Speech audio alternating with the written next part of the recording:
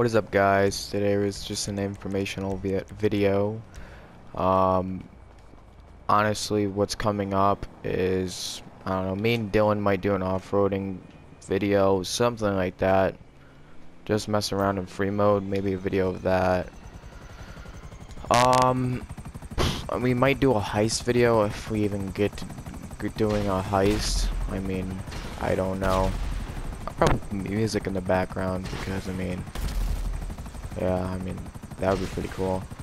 Well, we don't get to do a heist that much anymore. That's why I do crates. Um, and then with this new DLC coming out, it probably, oh, it's going to be I'm purchasing stuff and showing you guys what it is, and then depends on if they do another, if Rockstar adds in a, like a game mode or something, I'll do that. But if you guys want to see a different video before the DLC comes out, or a little bit after, just put in the comment section below. Um, yeah, that's it for this video. I'll see you guys in the next one.